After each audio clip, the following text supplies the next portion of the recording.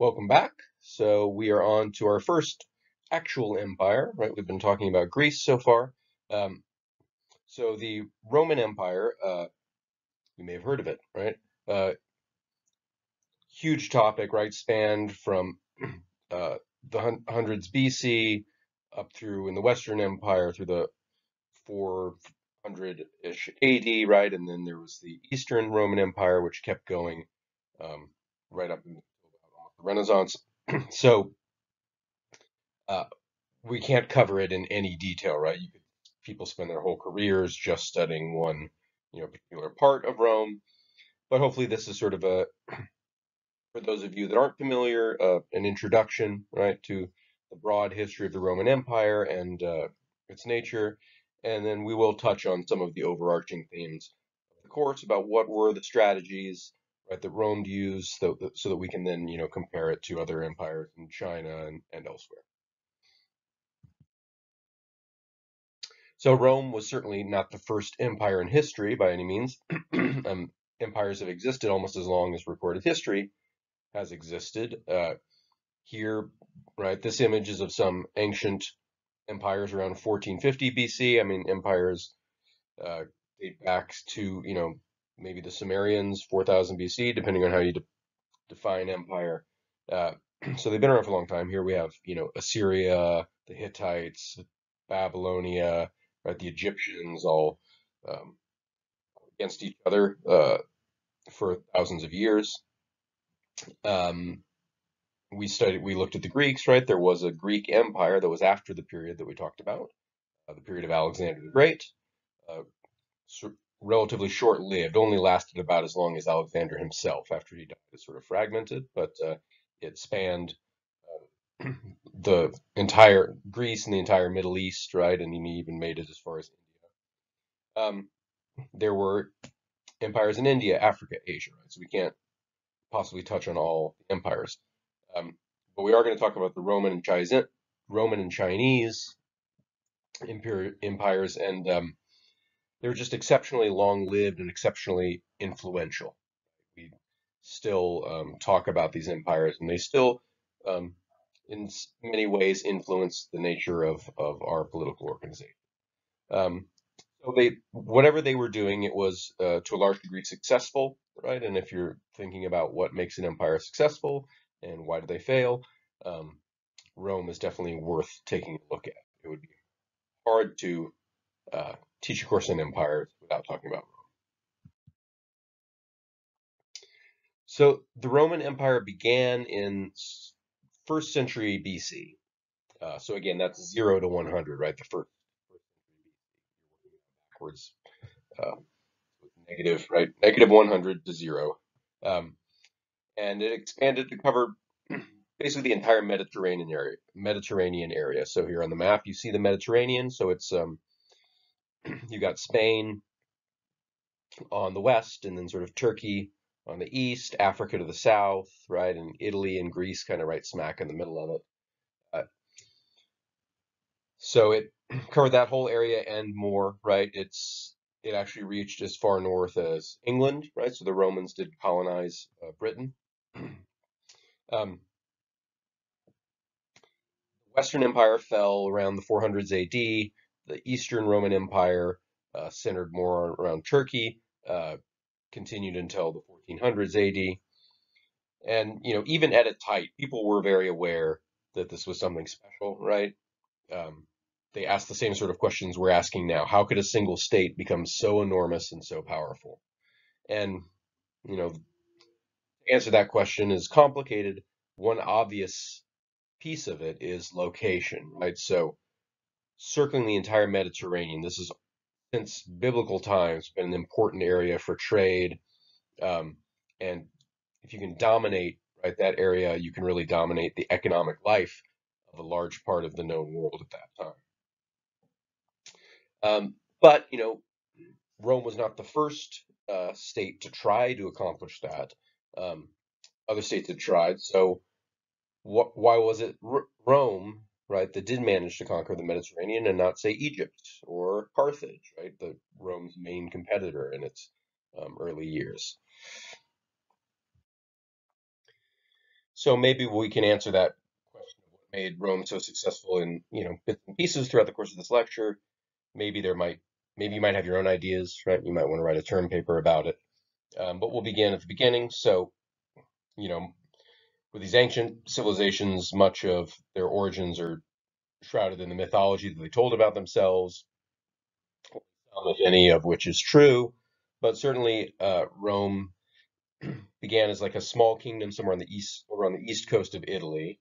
Uh, their story about their origins is in the Aeneid, which is this mythical account of the founder of Rome, Aeneas. Uh, he factors in, so if you've heard of the Iliad and the Odyssey, right? Maybe you've read them at some point in your college career. These are the story. This is the story of the Trojan War, right? Of the Achaeans against the Trojans um, to rescue Helen of Troy, uh, and so on, or to yeah, Helen back. Um, and uh, the Iliad and the Odyssey are told more or less from the side of the Achaeans, and then uh, the Romans claim their founder to be on the side of the Trojans. So the Trojans were like in Turkey, um, and the Achaeans were coming from Greece, Greece. Uh, so Aeneas, like Odyssey, so the Odyssey is Odysseus after the Trojan War, trying to get back home and going through all these trials and tribulations. And the Aeneid is a similar story about Aeneas, right, and his voyage uh, after the Trojan War, and eventually, after all these interesting stories and encounters with gods and monsters and so on, he ends up in uh, in Italy right, and found according to the story. There's also a story of Romulus, who's supposed to be the first king of Rome. So you may have heard Romulus and Remus. He had a brother. They were twins. Uh, right, they're abandoned as children and nursed by a mother wolf. So this uh, sculpture is of that. So you know, there's no way to know if that's true, but at any rate, those are the uh, the myths, and they're interesting if you ever get a chance to to read the Aeneid or more about mythical stories. They're always fun.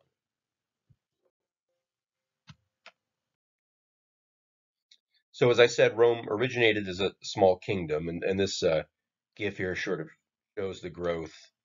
Um, we'll see in a moment it'll go back to uh, the beginning here. So little spot right on the east coast of Italy, and it grows, and by negative 40, it's pretty much covered the Mediterranean, right? By that's 40. So at like 500 BC, so at the very early, um, the Romans replaced their king with the republic, and the republic existed for most of Rome's expansion. Right, uh, by about 27 BC, at the time Julius Caesar kind of became de facto emperor, and then his son became officially emperor, right, Augustus. Uh, so that's when it changed into a from a republic to like an, an empire with an emperor, right? Although it was already a republican empire before that. Um, but at that point, it was already huge. So this initial expansion, right? Uh, first job was just to take over Italy, and there were lots of different tribes, lots of different kingdoms uh, in Italy. So there were some Etruscans, which were kind of considered the the oldest, sort of most uh, distinguished uh, civilization there. Um, there were some Gauls. So Gauls is sort of the word for French people, right?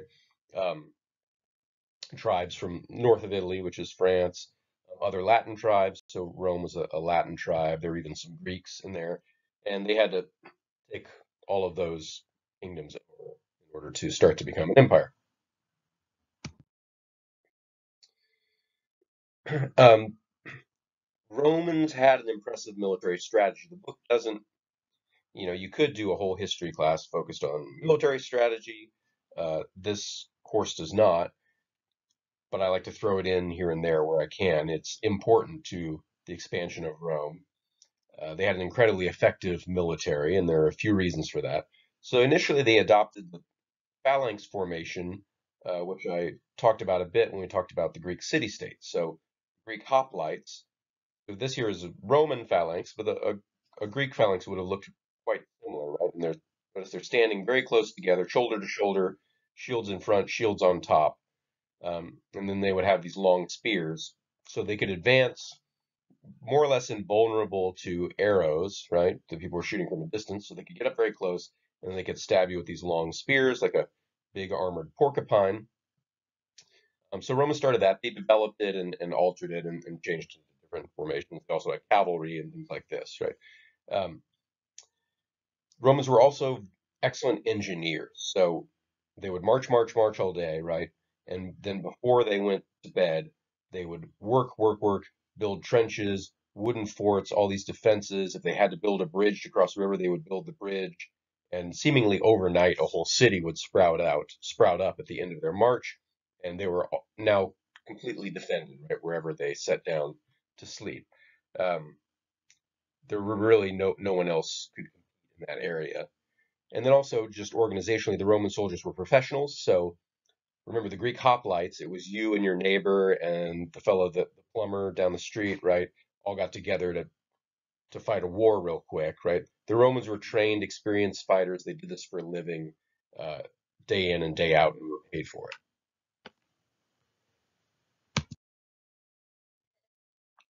So, in becoming a republic and taking power out of the hands of a single king, Romans became uh, less a state of powerful men and a state governed by laws.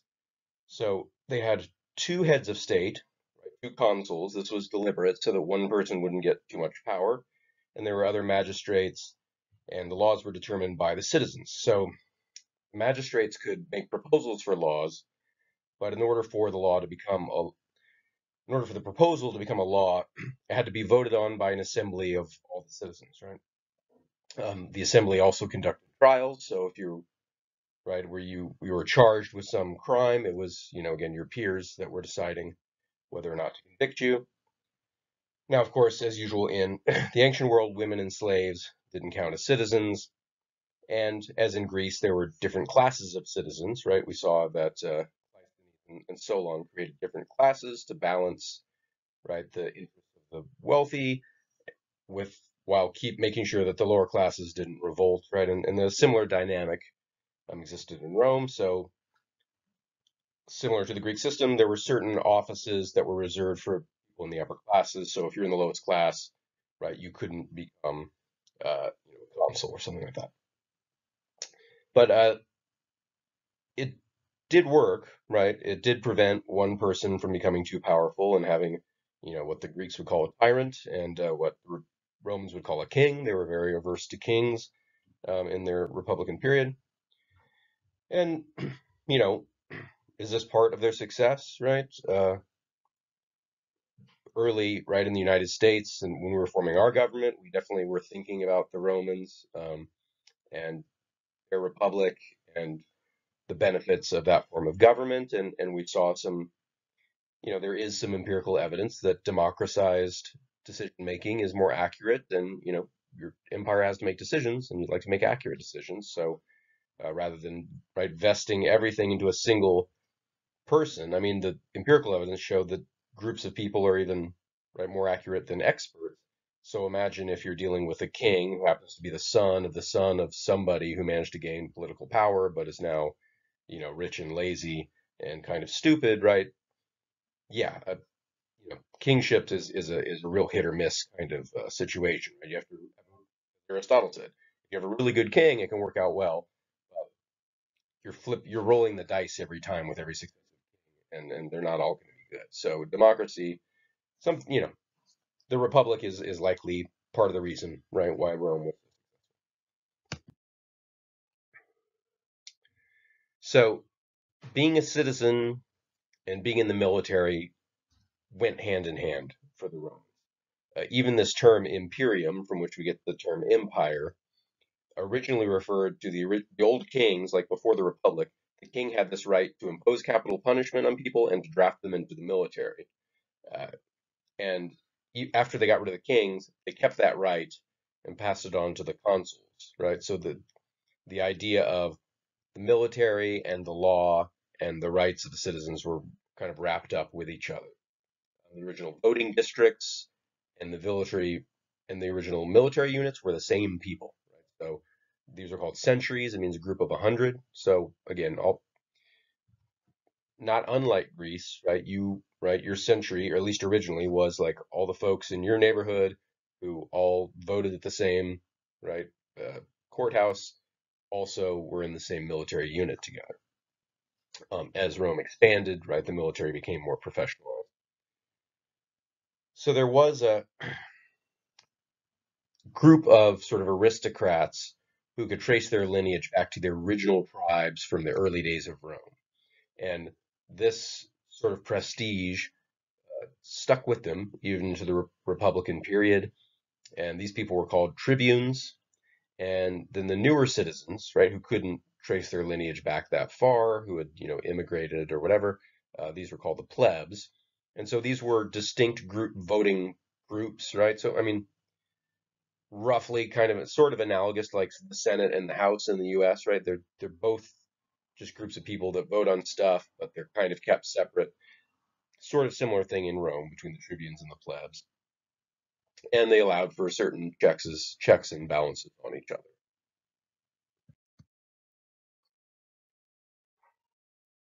So Rome was doing well. They were expanding, right? They were taking over Italy and, and, and going further and further, ultimately going to take over the entire Mediterranean area.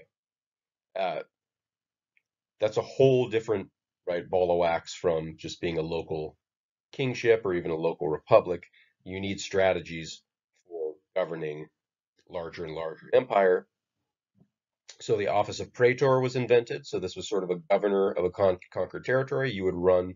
So you know, I conquer a an area in northern Italy and I install a praetor over there to, to run the territory. Now, the the territory is sort of very near to Rome in the early days. Uh, they were just kind of annexed, and all of the free males just became citizen, Roman citizens. So Rome just expanded a bit, and they didn't have to rule those neighbors with really heavy hand, right? There were certain benefits to becoming uh, of this right larger, more powerful city, and so they didn't have to necessarily install a praetor in their nearby um, neighborhoods. Uh, but the new citizens, just like other Roman citizens, would have to serve in the military, right? They would have to integrate themselves into the Roman culture. But in further away territories, right, as you get further away geographically and culturally, often they had to make different arrangements um, the cult, you know, you conquer your neighbors, you're not going to have too much trouble with language, right, or different gods or different cultures. The further away you get, uh, you it's going to be harder and harder to force right, Gauls to learn Latin and to worship your gods and so on. So often locals were local leaders were just given a fair amount of autonomy. So look, you're part of Rome now, but you can keep your position. Just you know, pay your taxes and don't fight us, right? Play play along with our overall military plans, and things will be just fine. And and so sometimes a closer right hand, a stricter approach worked, and sometimes a looser approach worked, depending on the circumstances.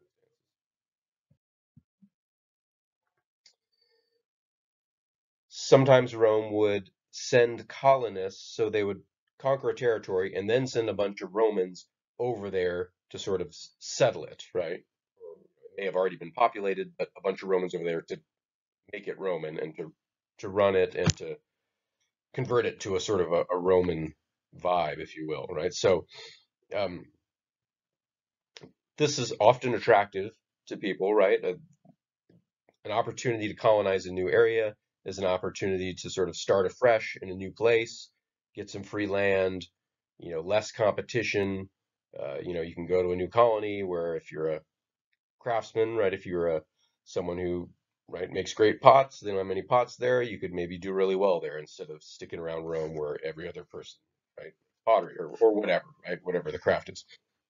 Uh, so this this was an attractive uh, opportunity for some people, um, and it was a good way for Rome to keep control over conquered territories. If you seed them with Romans, you know, that are loyal to Rome and have Roman culture, then you don't have to worry quite as much as as soon as you right move part of your army away, they're just going to flip back. Whoever is just going to flip back to whatever they were doing before. Um, to become a colonist, sometimes you had to give up your Roman citizenship and become a citizen of the new colony, but you know often it was worth the economic benefit was worth that trade.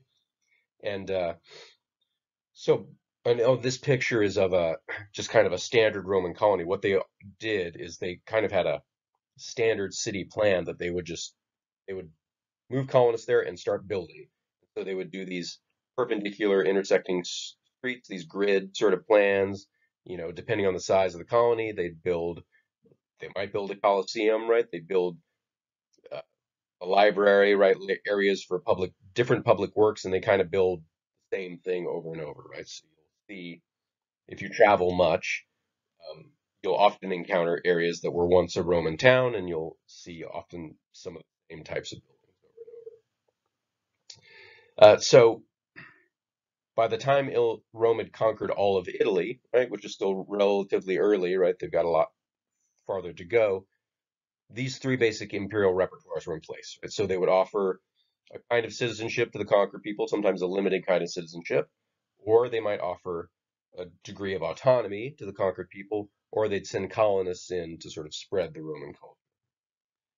And Roman citizenship was worth it, right? It was coveted, and, and in fact, off, many of the people in Italy that they conquered eventually uh, sort of demanded citizenship. Right? They weren't offered it immediately, and, and eventually won citizenship because it citizenship meant you could vote, right? Uh, it meant you could get married uh, uh, legally, you could own land, you could pass that property down to your children. So um, Roman citizens definitely had a chance to right enrich themselves and their families and get established in a way that was sort of off if you weren't. So Rome is expanding, but they, they butt up against uh, another important uh, proto empire right at the same time, which is North African Empire. Um, they were this is we're talking 264 to 146 BC here, um, where we get into what we call the Punic Wars, which were the wars with Carthage. They were kind of on again, off again, right? They were they weren't battling that entire time. Uh, but it was a long, right, about a, over a century of uh, struggle, and by the end of it, Rome won, and they controlled the entire Mediterranean. And you know, economic, uh, that's an economic slam dunk, right? Be able to control the trade over that entire area is just that's now you're a, a real empire. So Carthage was a Phoenician state. So Phoenicians, they if you've read like the Bible, the Old Testament, all Phoenicians show up. I think the Canaanites were probably Phoenicians that, you know, so in the story of the Bible, right, the um, the Jews leave Egypt, right, uh, and then they they're wandering for a while, and then they take over Canaan, and that becomes Israel, right? So that was Phoenician territory that they took over. Uh, the Philistines, maybe I think, have been thought to be Phoenicians, so Goliath, right? But anyways, the Phoenicians were like a seafaring people. They've been around since ancient times sailing around the Mediterranean, trading and so on. And so Carthage was ethnically Phoenician, located in North Africa, and you know looking to control the same Mediterranean trade routes. So they the fight started over uh, Sicily, and it just kind of kept going and kept going. So the, the big players there were the Roman general Scipio, and then the Carthaginian commander Hannibal. Right? Um, there's a famous incident of Hannibal leading an army over the Alps, right, to to battle the Romans with, uh, and he's got elephants in his army, right? So that's a picture of him with Very striking visual of ancient warfare, right? You could have an army with elephants, right? Who knew?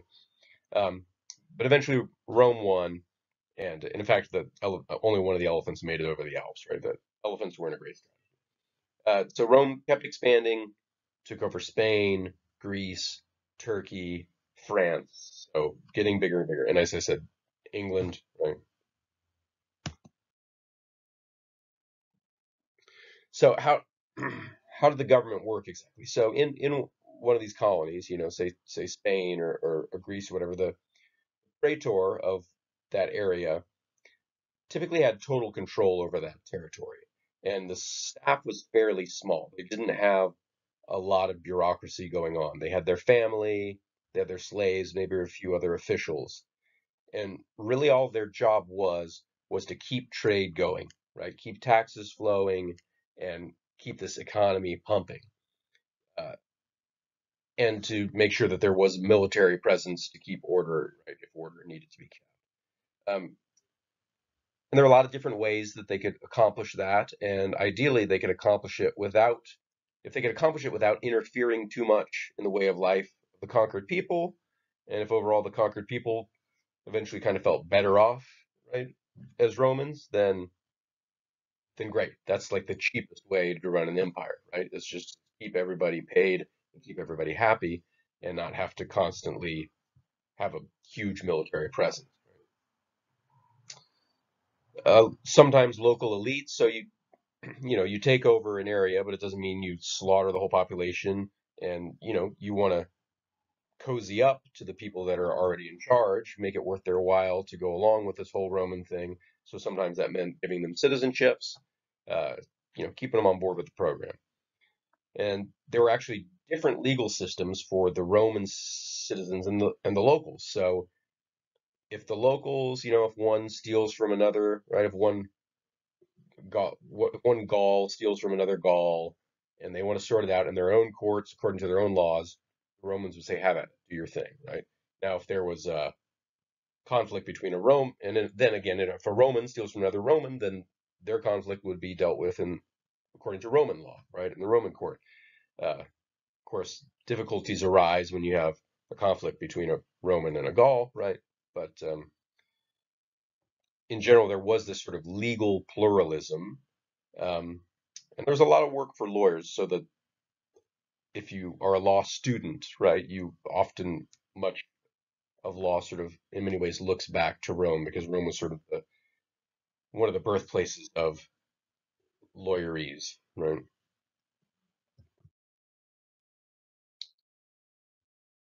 So eventually Rome did get an emperor? So again, it's still a republic at this point, but it's growing and it's growing, right? There's more at stake, and having an empire this large as a republic starts to become unmanageable. So part of the problem was that Roman law was kind of mostly a folk law, right? So it wasn't so much written down uh, in in in a clear code, right? But it's customs that they had, right? But the thing with those sorts of customs is the way you decide uh, a lot of issues, right? When you can't point to an exact uh, right legal standard, is you wrangle, you make deals. Somebody can afford a better lawyer than another, and so on. Um, there's a lot of gray area, but the thing with that gray area is that it allows for uh, people to sort of make power grabs, right, and sort of jostle if you got a good lawyer for for more and more, more power, right, more authority, and so on. And and this was accentuated by the fact that, again, citizenship and service in the military went hand in hand. So even like the richest, most powerful citizens were also off at war, right, leading armies and conquering and bringing back slaves, right, and riches and so on. And so that means that many of the most powerful people are out of town, leaving a power vacuum, right, for people to come into. So the lack of like a strict sort of hierarchical system and all this gray area, while it was more democratic, was also a little more chaotic. And what ended up happening is people started killing each other as a means of political advancement. And once assassination started to be kind of a standard thing you did if you wanted to get ahead, uh, the situation started to spin out of control really quickly. Uh, so it was in this period that Julius Caesar managed to take power. Right, his he brought his armies in. Remember, he controlled a large army. He was an incredibly successful general at first, and there was all this chaos in Rome. And he eventually he took his army, right, marched it over the Rubicon into Rome, and says, "Okay, I'm taking over." Right? And and he managed to do it. So now Julius Caesar is in control of Rome he never strict he never called himself an emperor, right? He called himself like citizen, something like that. And you know, because emperor kings they, they still left a bad taste in people's mouths, even you know hundreds of years after the uh, that they they've been a republic. But he was effectively an emperor. He was the supreme ruler, right? And then he was eventually assassinated. Uh, and it's a little picture of the uh, the murder of Caesar. And it was so then his rule passed to his adopted son Octavian, who became changed his name to Augustus, and also called himself an emperor. Right, uh, the term was at that time, but officially they had an empire 27 BC.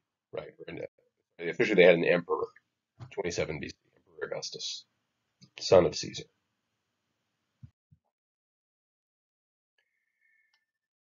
So this time of the early times of the emperors was actually a pretty good time for Rome. Uh, it was relatively peaceful. So Augustus had a pretty long life. He lived for 41 years. Uh, you know, given all the constant assassinations that had been going on before, pretty impressive. And it sort of put an end to all of that chaos. So there's a long period of peace, and his son Tiberius also had a nice uh, eight sort of rule, right? So the Pax Romana, right? It was just a peaceful time. And that was kind of lucky, right? Because that gave everybody the sense that, all right, Rome's an empire now. Things are going pretty well. It's okay that we're not a republic anymore. Maybe it's even better. We're okay with it. And this also allowed more and more power to gradually accrue to the position of empire. Remember, this was a new job that Caesar had just created. Uh, and so eventually, right? The, the emperor had total control over declaring war, right, or not declaring war, enacting new laws, right? He could do it all on his own. He could stop any legal action, so he could pop in and say, uh, "No, this trial is over, right? You win, you lose." Um, and he was not subject to any of the laws. There was no distinction between the finances of the empire and that of the emperor, right? Um, I think that's a myth The empire's finances and those of the emperor. Right? So whatever Rome had, the emperor had. And the emperor was the commander in chief of the Roman army, so pretty much controlled everything in the state, in the in the empire. And that came in handy, right? If somebody if it looked like somebody was trying to right wrangle to kill him or somehow take over, he could just send them off to war, say, okay, go fight right in Britain, right? Go fight in Turkey or something, and uh, then that person wouldn't be a problem anymore.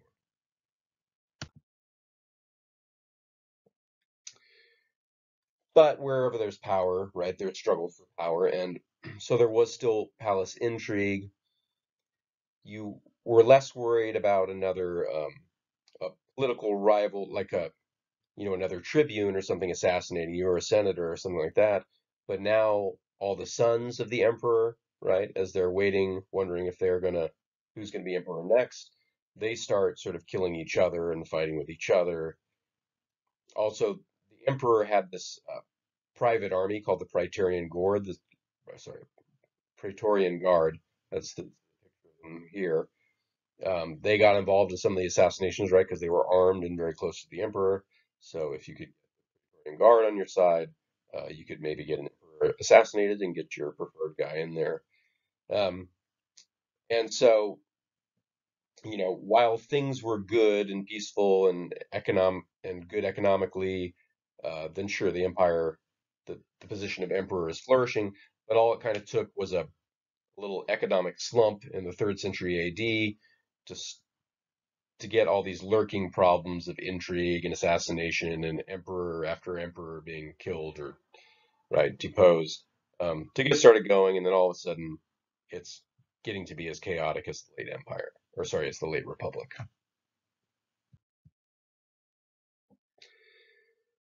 So, the emperor was very powerful, but a single person alone cannot hold an empire together. What really held the empire together was the economy, right? And that was uh, it's always been the engine of Rome. Now, it was not a planned economy, right? It was not thought out, designed, top down. It really just happened sort of ad hoc, like at the moment, right? Whatever is working at the moment, we'd start with that, build onto it, and so on. So, it, you know, back in this time, it was impressive, and the public works and things were impressive, but it was still basically an agricultural society. So, yeah, there were precious metals and there was some kind of technology, but the primary good that's being traded around and creating wealth is food, right? rich people are still farmers, right? They're just very rich farmers. Uh, so the right to own land, right? The conquest of land, and then the power over slaves to work the land. This is what you need for economic advancement. That's how you get rich. It's land and produce. And this whole area, right? This whole Mediterranean area is engaged in that. And the way Rome got rich off of this is taxation, right? So there were taxes on your land, right? Property taxes. People were taxed. Inheritance was taxed. Imports were taxed. Exports were taxed, right? Everywhere there's some sort of economics exchange or something of value, Rome's taking their little piece. Uh, as you can imagine, in the ancient world, collecting taxes is a nightmare, right? Uh, you don't have a centralized computer system. It's very easy to evade taxes, right? So you have to have a huge workforce of people um, out there making sure that everyone is counted, right? Census is a big thing. If you remember, right, in the Bible, when, right, Jesus goes to Bethlehem, there's supposed, it's supposedly because there's a big census. This is Roman times, right? Um, it's probably not the case in the Bible story. They have everybody going to the town that their parents were born or something, which sounds insane. So that's probably not how it worked. Certainly not how it worked, right? But um, at any rate, yeah, you can imagine like yeah, keeping track of people and then having people out there finding the farms, right, and getting the money or the produce or whatever they needed taxation was a huge undertaking, and it had to be done because that's how Rome survived. Um, feeding the Roman Empire was another huge undertaking. So the city of Rome was about a million people at that time, right? So that's big. I was I lived in San Antonio when I was a kid, and, and when I moved away from San Antonio, it was a million people, right? It's the size of a decently large uh, modern city, and uh, so you can't feed a million people just on the local farmland around Rome, right? So you need constant trade with farther away areas. You need conquest, right, to bring in money, slaves, produce. So uh, most of the grain that fed Rome came from Africa, Sicily, Sardinia, and Egypt. You also had to feed the Roman army, which was huge, right? And again, these were professional soldiers that would be gone for months and years on end, right? And you had to feed them, and they ate a lot because they marched all day and fought all the time, and they had to be well fed. If they're starving, uh, you, are not going to have a good army. Um, so all of that food had to come from further away, from Gaul, like Germany, the Danube region, Balkan states, um, which were. Um, so soldiers were also paid in money, and that money came from tax revenue from all over the empire. So again, you need that all that all those people to collect those taxes. So um, for the most part, right, subjects of Rome, the people they conquered, benefited from being integrated into this huge economic engine. So you had access to all sorts of things you wouldn't necessarily have had before if you were just a member of a, a tribe in Gaul, right? So you could get olive oil, right? Now you have Roman traders going to and from. They want your grain, right? And they'll bring you something in exchange. You could get some olive oil. You could get some Roman wine. Uh, tiled roofs, as I said, Romans, when they started the colony, they would start these, right, construction projects, and, and there would be all sorts of public works. Um, having a tiled roof was a huge deal back then because houses burned down all the time. And uh, here's this a picture of a Roman villa, right? And so the tiled roof, much less flammable. And as I mentioned, right, the Romans did a huge amount of construction, and it allowed the conquered peoples, or, or at the very least the, the rich ones, to feel like they were part of something great. So if you're, you know, higher up in a, again a, a tribe in Gaul, um, it doesn't mean you live all that much differently than than a peasant. But if you got now you've got these Roman luxuries coming in, you see what these Roman villas are like. Now you're starting to see what it's really like to live sort of high on the hog, right? So uh, it's attractive, as we say, a seductive culture. They, as I mentioned, the grid plan, right? That was mimicking the Greek cities. Uh, in Italy. They built these huge triumphal arches, aqueducts. So here's a picture of an aqueduct that's still standing. Many of these are still standing across Europe. So they would transport water, right? It's like plumbing pipe. It uh, ran across these bridges that went from places of, you know, a lake at a higher elevation down to the lower elevations, but they could transport water hundreds of miles. Um, they had sewer systems, public baths, sports facilities. Uh, the town of Bath in England has still has a Roman bath back from when England was was Roman. It, all over Europe, you can find still find these because they're really well constructed. Another important part of Roman culture was the idea of the law. Again, they were sort of a an empire of lawyers, right? And they thought of the law as a natural outgrowth of human reason. Um, again, there was largely a folk law, but they, that's because they thought that law is just rational. Any human, right, with a brain can figure out what the law should be, right? Don't steal, don't murder, and so on. Um, and this sort of larger legal structure gives you a certain sense of security that's not going to be available in some of these uh, further away towns. So if you are a villager, right, in a outside the Roman Empire, pretty much at any moment, right, a raider on horseback, I mean, I may have mentioned them before, can swoop into your town, start killing people, take all your stuff, right, take your the women often, right, right away. From the beginning of agricultural society, this has been a problem, right? These raiders on horseback swoop in, take all your stuff, and and and flee. If you're a Roman, right, you got more security. There's less likely that that's going to happen. So it's nice to leave, live in a police state sometimes, right? Um, okay, and uh, also art, literature, science, higher education, all funded, encouraged in the Roman Empire. You really start to feel like you're in a civilization. Uh, yeah, it's attractive, and they didn't have to uh, for a long, in many areas, have a huge military presence to keep people happy, right? The Roman Empire kept people happy. So their religion is, was also kind of helpful in their expansion, right? They were polytheists, uh, and as were most of the people they conquered, apart from the Jews, right? So again, the, the new beginning of the New Testament, right, and the story of Jesus, that all happens among some Jews in Rome, and there was tension there because the Jews were monotheistic and the Romans were not. But in most other areas, yeah, it was polytheists conquering polytheists, and you had your gods, they had their gods. Your gods can join our gods. We can all worship all the gods.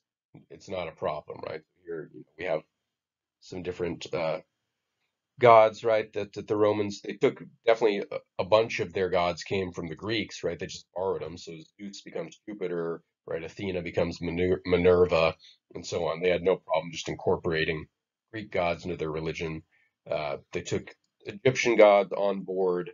Um, a little harder, right, to bring the Jewish God on board because according to the Jews, he's the only God, right? So you can't just say, okay, your God's one of ours. Well, no, that's that's not how we see it, say the Jews. There's only one of them, right? So that was tense. And then, of course, as Christianity began to develop and become more popular, that's another tension. Uh, we'll see that tension a great deal in the film we watch, Agora, um, and it's interesting to to see that happen. That's kind of one of the major. But you know, Christianity had a lot of Roman and Greek influence into it by as it developed, right? By the time you get to like Paul and stuff working out Christian doctrine, um, they really were thinking sort of more philosophically and and were influenced by Roman and Greek philosophy, and uh, there were certain points of compatibility between this universal, single universal God and this single universal empire, right? There's a sort of um, kind of compatibility in spirit, and that's eventually exactly what happens, right? Um, the one God becomes the God of the one empire, and Rome is a Christian empire.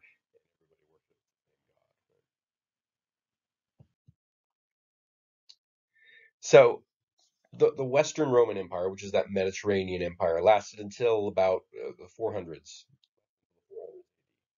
Uh, but you could already see around the 200s that things were starting to slow down. So they had stopped expanding for the most part, and expansion was kind of important, right? They have, there's a lot of mouths to feed. Um, they needed fresh influx of wealth, right? Uh, resources, slaves, um, for this upward mobility of the lower middle classes to keep going, for this to keep pumping. So If they're stopping expanding, that means their economy is going to be contracting. And this wealthy empire, right, is just kind of sitting there not being aggressive militarily. Well, people outside the boundaries are going to start to see these rich cities and start to try to raid it on its borders, start to pick away at the edges, right? Sometimes, um, and all that, right?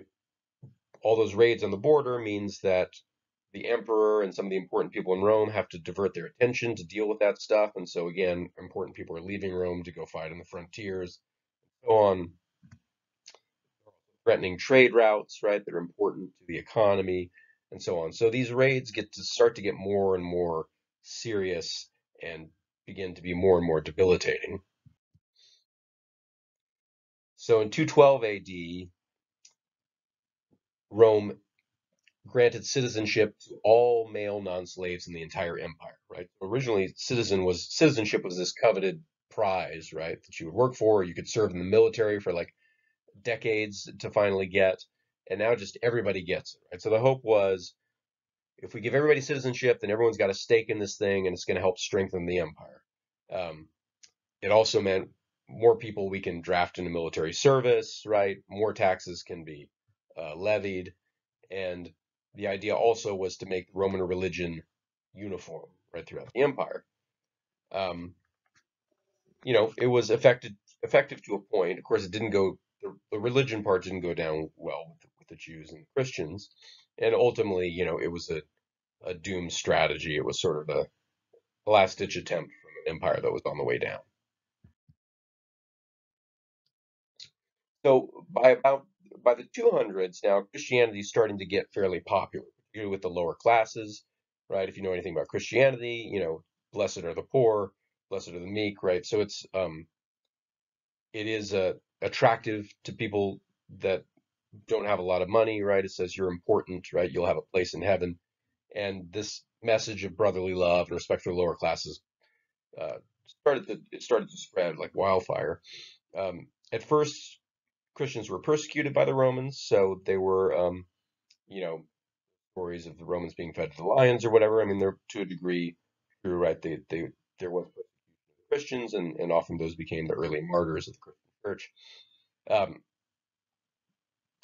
the persecution, right, as Christianity became more and more popular, uh, the persecution was finally ended in 311, and then a mere one year later, right, Emperor Constantine dreamt that he ought to display a cross in order to win the bot his next day's battle and said, okay. So he displays the cross, he wins the battle, and he says, okay, that's good enough for me, right? I'm going to convert to Christianity. Then Christianity became the official religion of the Roman Empire. Um, so Christianity is not like these other religions that they were perfectly compatible with, right? Christianity is monotheistic. So now if the empire, empire is monotheistic, it means all these other polytheists, right, can't just coexist happily, right? Uh, so the temples of the pagan gods torn down, and eventually Christianity becomes the dominant religion sort of in actual practice as well as in the law. So big transformation right, from a relatively loose, open attitude towards religion that served them well for a while now to the point towards the end of the empire when they're looking for stability and a single religion is hoped to sort of help to accentuate that stability. So Constantine, the same one that converted to Christianity, moved the capital uh, the Roman Empire away from Rome and moved it to Constantinople, which is in Turkey now. It's now called Istanbul, right? 324 AD. Uh, and Rome, the city of Rome, was sacked over and over. Eventually, captured by the by the Visigoths in 410, and that's that's our the date we slap on the end of the the Western Roman Empire. Now it was actually a you know a slower, more chaotic disintegration, right? But 410, good enough for us, right? That's the end of the Western Roman Empire.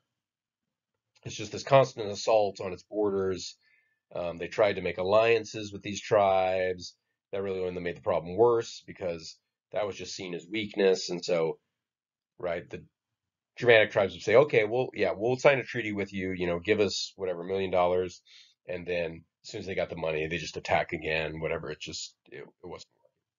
So eventually, it just sort of didn't so much fall as kind of dis disaggregate. So some areas were conquered by enemies, others technically remained Roman, but there just wasn't really a connected empire right around them, um, and there wasn't any real centralized control anymore. and you know, as that goes away, a lot of the benefits go away too, right? The cheap olive, cheap olive oil and the tiled roofs are no longer available either, and it's not clear at a certain point what's the point in being a Roman citizen anywhere or calling yourself Roman. Um, the economic engine has collapsed.